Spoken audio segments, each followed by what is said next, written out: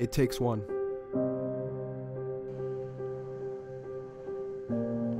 Why can't they just leave me alone? Over half of adolescents and teens have been bullied online, and about the same number have engaged in cyberbullying. More than one in three young people have experienced cyber threats online.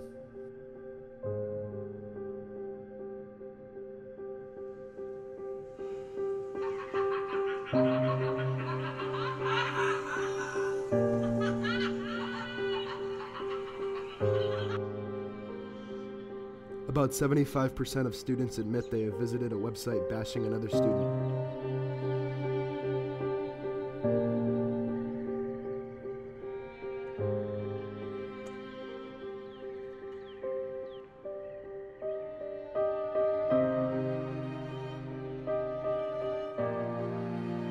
Over 80% of teens use a cell phone regularly, making it the most common use for cyberbullying.